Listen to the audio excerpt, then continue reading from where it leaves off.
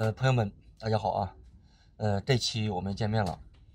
呃，这期啊，我们来聊一聊啊，就是说关于这个无土栽培啊，就是说机制栽培，这个机制到底选用什么样的一个机制啊？这是一个。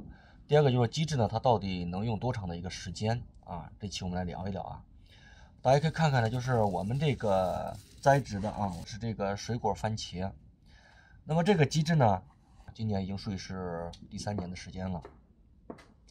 那么这个机制啊，我们采用的啊是这个蚯蚓粪啊和这个牛粪，按照的是两份的蚯蚓粪啊配上一份的牛粪啊这样的一个比例，就二比一的一个比例。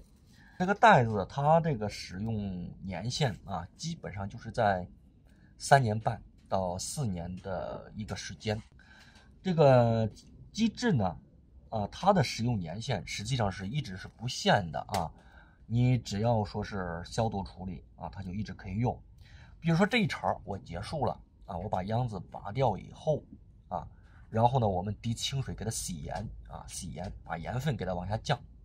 洗完盐以后啊，然后呢，我们密闭大棚两三天的时间啊，这个水分一蒸发干啊，这个就相当于是消毒了、洗盐了啊，我们继续开始种就行了。